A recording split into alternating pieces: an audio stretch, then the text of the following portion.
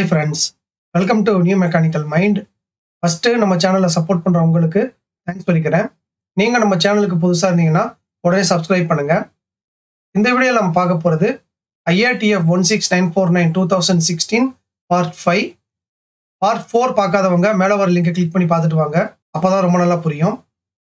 போன பார்ட்டில் நாம் what is quality policy requirement for quality policy example for quality policy what is quality objective, requirement for quality objective, how to prepare quality objective, example for quality objective, tips for implementing quality objectives இந்த எல்லா கண்டென்ட்டை பற்றியும் டீட்டெயிலாக பார்த்தோம் இந்த பார்ட்டில் நம்ம பார்க்க போகிற content what is procedure example for procedures what is turtle diagram what is documentation documentation approach what is quality manual இந்த எல்லா கண்டென்ட்டை பற்றியும் டீட்டெயிலாக பார்க்க போகிறோம் IATF one six nine four nine கிளாஸஸை நாம் டைரெக்டாக பார்க்காம எதுக்காக இந்த மாதிரியான ஐட்டம்ஸ் எல்லாம் பார்க்குறோன்னா ஐஐடிஎஃப் கிளாஸஸை நாம் பார்க்கும்போது நல்லா புரியணும்னா இந்த ஐட்டம்ஸை பற்றி எல்லாம் நமக்கு டீட்டெயிலாக தெரிஞ்சிருந்தால் தான் அந்த ஒவ்வொரு கிளாஸையும் பார்க்கும்போது நமக்கு டீட்டெயிலாக புரியும்.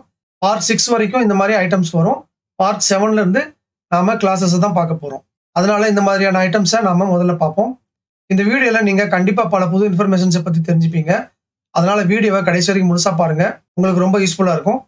வாங்க ட்ரைனிங்குள்ளே போகலாம் முதல்ல நம்ம பார்க்க போகிறது வாட் இஸ் ப்ரொசீஜர் ப்ரொசீஜர்னா என்ன?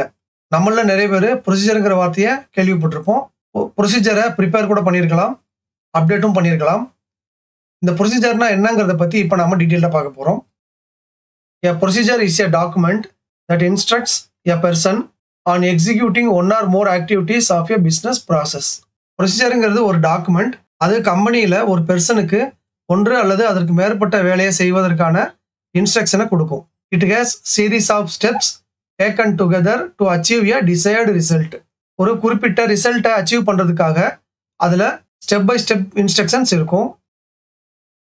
It is a particular way of accomplishing something as in a repetitive approach process or cycle to accomplish and end result இந்த ப்ரொசீஜர் ஒரு அணுகுமுறையையோ ப்ராசஸையோ இல்லை செயலையோ ரிப்பீட்டடாக ஒரே மாதிரியாக பண்ணுறதுக்கான வழியாக இருக்கும். அது மூலமாக நாம் எதிர்பார்க்குற ரிசல்ட்டை அடைய முடியும். இந்த ப்ரொசீஜர் மட்டும் இல்லைன்னா ஒவ்வொருத்தரும் அவங்களோட எக்ஸ்பீரியன்ஸுக்கு ஏற்ற மாதிரி வேலையை செய்வாங்க. அதனால எதிர்பார்த்த ரிசல்ட் கிடைக்காம போயிடும். It will reduce the processing time by eliminating unnecessary steps நாம் ஏற்கனவே பார்த்த மாதிரி ப்ரொசீஜர் இருந்தால் தான் எல்லாருமே கரெக்டான தேவையான வேலையை மட்டும் செய்வாங்க. இல்லைன்னா ஒவ்வொருத்தரும் அவங்களுக்கு தோன்ற செயலை செய்வாங்க. இல்லை அவங்க எக்ஸ்பீரியன்ஸ் பேஸ் பண்ணி அந்த செயலை செய்வாங்க. அதனால தேவையில்லாமல் டைம் வேஸ்ட் ஆகும். அதை ரெடியூஸ் பண்ணுறதுக்கு ப்ரொசீஜர் யூஸ் ஆகுது. It will avoid confusion which may be caused by oral explanation with in persons ஒரு செயலை செய்யறதுக்கு இன்னொருத்தருக்கு நம்ம ஓரலாக கம்யூனிகேஷன் கொடுத்தோம்னா அது அவருக்கு தேவையில்லாத கன்ஃபியூஷனை ஏற்படுத்தும். ஏன்னா சொல்லும்போது புரியுற மாதிரி இருக்கும். நாம போனதுக்கப்புறம் அது அவங்களுக்கு புரியாமல் கூட போகிறதுக்கு வாய்ப்பு இருக்கு. அந்த கன்ஃபியூஷனை இதை அவாய்ட் பண்ணும். It will assist companies in improving quality management by improving consistency within the company ஒரு கம்பெனியில் குவாலிட்டி மேனேஜ்மெண்ட் சிஸ்டம் கன்சிஸ்டண்ட்டாக இம்ப்ரூவ் ஆகணும்னா அந்த கம்பெனியில் ப்ரொசீஜர் கண்டிப்பாக இருக்கணும். அது இருந்தால் தான் அந்த கம்பெனியில் குவாலிட்டி மேனேஜ்மெண்ட் சிஸ்டம் கண்டினியூஸாக இம்ப்ரூவ் ஆகும். இது எல்லாமே ப்ரொசீஜருக்கான டெஃபினிஷன் இப்போ உங்களுக்கு ப்ரொசீஜரை பற்றி ஒரு ஐடியா கிடச்சிருக்கும். அடுத்து நம்ம பார்க்க போகிறது எக்ஸாம்பிள்ஸ் ஃபார் ப்ரொசீஜர் கம்பெனியில் ஏகப்பட்ட ப்ரொசீஜர்ஸ் இருக்கும். சில ப்ரொசீஜரை நாம் எக்ஸாம்பிளாக பார்க்க போகிறோம் first procedure for handling customer complaints customer கம்ப்ளைண்ட்டை handle பண்ணுறதுக்கான procedure procedure for warranty claims from customer line complaint இல்லாமல் ஃபீல்டில் அதாவது வாரண்டி கம்ப்ளைண்ட் கூட கஸ்டமர்கிட்டருந்து வரும். அதை எப்படி ஹேண்டில் பண்ணுறது அதுக்கான procedure procedure for inhouse rejection management கம்பெனியில் ப்ரொடக்ஷன் பண்ணும்போது வர்ற ரிஜெக்ஷனை எப்படி மேனேஜ் பண்ணுறது அதுக்கான procedure procedure for new product development புது ப்ராடக்டை டெவலப் பண்ணுறதுக்கான procedure procedure for change management ஏதாவது ஒரு சேஞ்சஸ் அதாவது மேன் மெஷின் மெட்டீரியல் மெத்தட் இது சேஞ்ச் பண்ணும்போது எப்படி பண்ணணுங்கிற ப்ரொசீஜர் ப்ரொசீஜர் ஃபார் மெயின்டெனன்ஸ் கம்பெனியில் இருக்கிற மெஷின்ஸ் ஜிக்ஸ் ஃபிக்சர்ஸ் இதெல்லாம் எப்படி maintain பண்ணணுங்கிறதுக்கான procedure procedure for poka yoke management poka yoke ரெக்யர்மெண்ட்டை எப்படி ஐடென்டிஃபை பண்ணணும்? அந்த போக்கேகேவை எப்படி மெஷினில் இன்ஸ்டால் பண்ணணுங்கிறதுக்கான procedure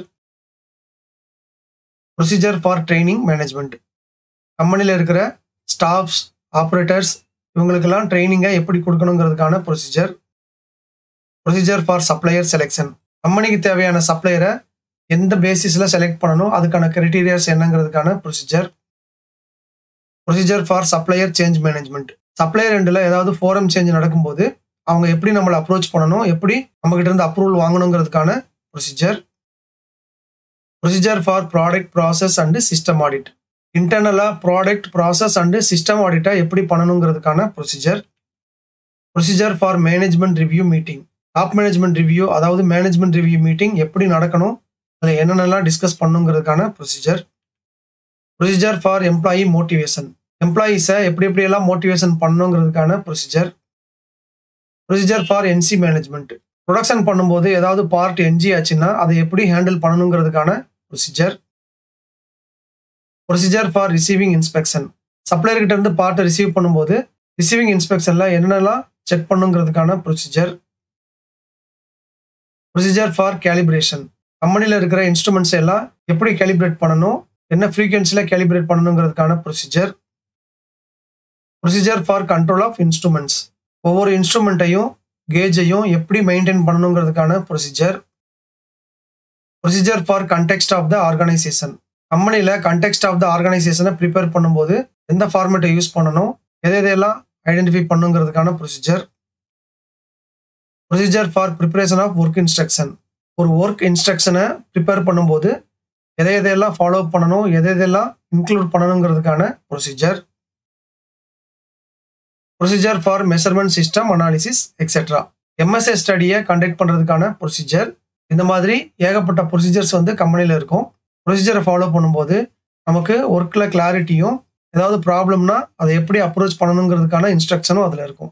நெக்ஸ்ட் நம்ம பார்க்க போகிறது what is turtle diagram turtle டயக்ராம்னா என்ன? இந்த வார்த்தை சில பேருக்கு புதுசாக இருக்கலாம். டர்டில் டயக்ராம்னா ஒரு ப்ரொசீஜரை ப்ரிப்பேர் பண்ணுறதுக்கு முன்னாடி டர்டில் டயக்ராம் போடுவாங்க.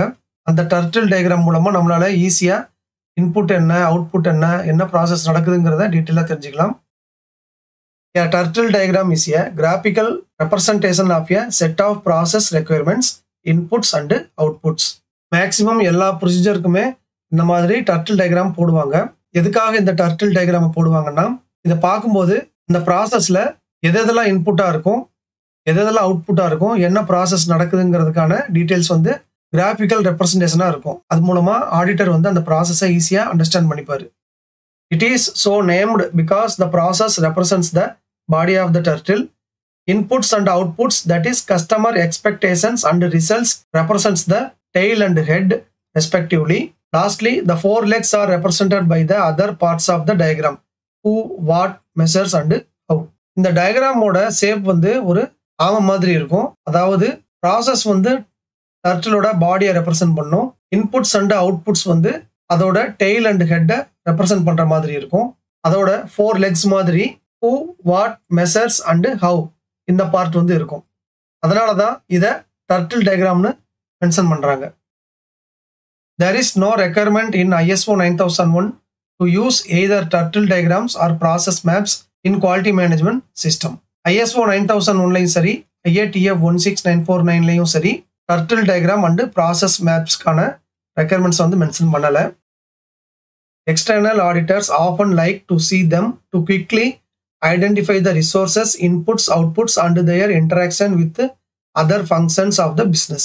ஆனால் வெளியிருந்து வர ஆடிட்டர் ப்ராசஸ் மேப்ஸையும் டர்டில் டயக்ராமையும் பார்க்கணும்னு சொல்லுவாங்க.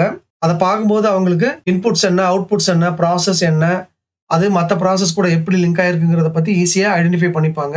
அதனால தான் டர்டில் டயக்ராமையும் ப்ராசஸ் மேப்ஸையும் கேட்பாங்க.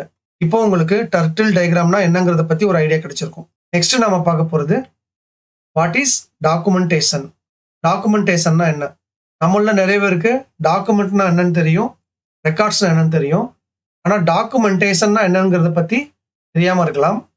அதை பற்றி நம்ம இப்போ டீட்டெயிலாக பார்க்க போகிறோம் documentation is any communicable material that is used to describe explain or instruct regarding some attributes of an object system or procedure such as its parts assembly installation maintenance service and use. டாக்குமெண்டேஷனுங்கிறது மற்றவங்களுக்கு நாம் எதை communicate பண்ணணும்னு நினைக்கிறோமோ எக்ஸாம்பிளுக்கு ஒரு part எப்படி இருந்தது இல்லை எப்படி இருக்கணும் அதோட அசம்பிளி இன்ஸ்டாலேஷன் மெயின்டெனன்ஸ் சர்வீஸ் அந்த பாட்டை எப்படி யூஸ் பண்ணணுங்கிறதுக்கான ப்ரொசீஜராகவோ இன்ஸ்ட்ரக்ஷனாகவோ அது இருக்கலாம். இந்த மாதிரியான இன்ஸ்ட்ரக்ஷன்ஸை ப்ரிப்பேர் பண்ணி வைக்கிறத டாக்குமெண்டேஷன் சொல்லுவாங்க. It can take many different forms such as manuals technical guides quality policy procedure work instruction and online help resources டாக்குமெண்டேஷனுக்கு வந்து இதுதான் ஃபார்ம்னு கிடையாது. எந்த ஃபார்மில் வேணாலும் இருக்கலாம். எக்ஸாம்பிளுக்கு மேனுவல்ஸாக இருக்கலாம் டெக்னிக்கல் கைட்ஸாக இருக்கலாம். இந்த மாதிரி எந்த ஃபார்ம்லையும் நாம் டாக்குமெண்டேஷன் பண்ணலாம். It helps teams stay organized and on track by providing a clear understanding of requirements progress and any potential risks இது மூலமாக எல்லாருமே ஒரே மாதிரியான வேலையை என்ன பண்ணணுமோ அதை அண்டர்ஸ்டாண்ட் பண்ணிக்கிட்டு கிளியராக பண்ணுவாங்க. அது மூலமாக செய்கிற வேலையில் ப்ராக்ரஸ் இருக்கும். ஏதாவது ரிஸ்க் இருந்தாலும் அதை ஈஸியாக ஐடென்டிஃபை பண்ணவும் முடியும். Documentation is imperative for any organisation or project regardless of size or industry ஒரு கம்பெனி பெரிய கம்பெனியாக இருந்தாலும் சரி சின்ன கம்பெனியாக இருந்தாலும் சரி என்ன ப்ராஜெக்ட் பண்ணாலும் சரி அவங்க டாக்குமெண்டேஷனை கண்டிப்பாக பண்ணணும். அது ரொம்ப ரொம்ப முக்கியம். Quality of documentation is good when all relevant information must be recorded all paper records must be legible signed and dated ஒரு டாக்குமெண்டேஷனோட குவாலிட்டி எல்லா தேவையான இன்ஃபர்மேஷன்ஸை ரெக்கார்ட் பண்ணும்போது தான் நல்ல டாக்குமெண்டேஷன் அதை சொல்ல முடியும்.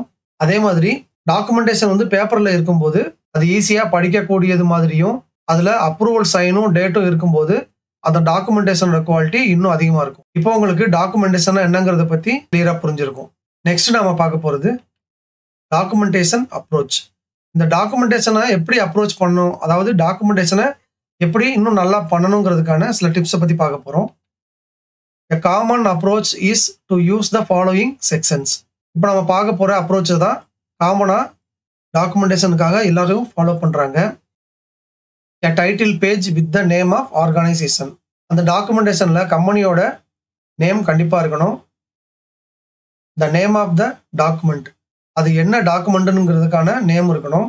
அதாவது அது ஸ்டாண்டர்ட் ஆப்ரேட்டிங் ப்ரொசீஜரா மேனுவலா அந்த மாதிரியான டைட்டில்ஸ் அதில் இருக்கணும். இட்ஸ் நம்பர் அதுக்குன்னு ஒரு ஃபார்மேட் நம்பர் கொடுக்கணும். வெர்சன் நம்பர் அதோட வெர்சன் இல்லை ரிவிஷன் நம்பர் கொடுக்கணும். டேட் ஆஃப் இஷ்யூ அந்த டாக்குமெண்ட்டை நாம் எப்போ ரிலீஸ் பண்ணுறோமோ அந்த டேட்டு அப்ரூவல் ஸ்டேட்டஸ் அந்த டாக்குமெண்ட் அப்ரூவ் ஆகிருக்கணும் a table of contents listing all sections and subsections with their page numbers. எந்தெந்த செக்ஷன்ஸ் எந்தெந்த சப்செக்ஷன்ஸ் எந்த பேஜ் நம்பரில் இருக்குங்கிறதுக்கான ஒரு டேபிள் ஆஃப் கண்டென்ட் இருக்கணும். And introduction for overview of the document's purpose அந்த டாக்குமெண்ட்டோட பர்பஸ் என்னங்கிறத பற்றி ஒரு சின்ன இன்ட்ரோடக்ஷன் வந்து இருக்கணும். ஸ்கோப் அப்ஜெக்டிவ்ஸ் அண்டு கன்சென்ட் அதோட ஸ்கோப் என்ன அப்ஜெக்டிவ் என்ன யார் யாரெல்லாம் இதை சம்மந்தப்பட்டிருக்காங்கிறத பற்றி மென்ஷன் பண்ணியிருக்கணும். An body containing quality standards policies procedures processes roles responsibilities metrics and controls quality standards policies procedures processes roles responsibilities metrics and controls இந்த மாதிரியான டீட்டெயில்ஸ் எல்லாமே பாடியில் டீட்டெயிலாக mention ஆகிருக்கணும்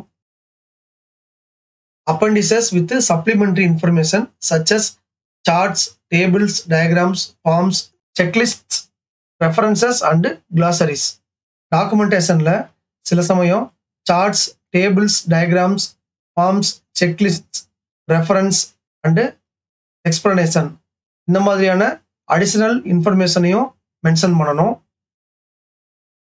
Revision history recording changes made over time with date author reason and summary of changes. அந்த டாக்குமெண்ட்டோட revision ஹிஸ்ட்ரியை record பண்ணணும். அதில் எப்போ சேஞ்ச் பண்ணாங்க யார் சேஞ்ச் பண்ணாங்க அதோட ரீசன் என்ன சேஞ்ச் பண்ணாங்கங்கிறதுக்கான டீட்டெயில்ஸ் எல்லாம் அதில் ரெக்கார்ட் பண்ணி வைக்கணும். இது எல்லாமே ஒரு டாக்குமெண்டேஷனை எப்படி நல்லா பண்ணணுங்கிறதுக்கான ஒரு அப்ரோச் அடுத்து நம்ம பார்க்க போகிறது what is quality manual quality மேனுவல்னால் என்ன? எல்லா கம்பெனிலையுமே கண்டிப்பாக குவாலிட்டி மேனுவல் இருக்கும். அந்த குவாலிட்டி மேனுவல் பற்றி இப்போ நம்ம பார்க்க போகிறோம் the quality manual is a document which fully describes the quality management system of an organisation ஒரு கம்பெனியில் அவங்களோட குவாலிட்டி மேனேஜ்மெண்ட் சிஸ்டமில் எதை எதையெல்லாம் ஃபாலோ பண்ணுறாங்க எப்படி ஃபாலோ பண்ணணுங்கிறதுக்கான டீட்டெயில்ஸ் எல்லாமே இந்த குவாலிட்டி மேனுவலில் தான் இருக்கும்.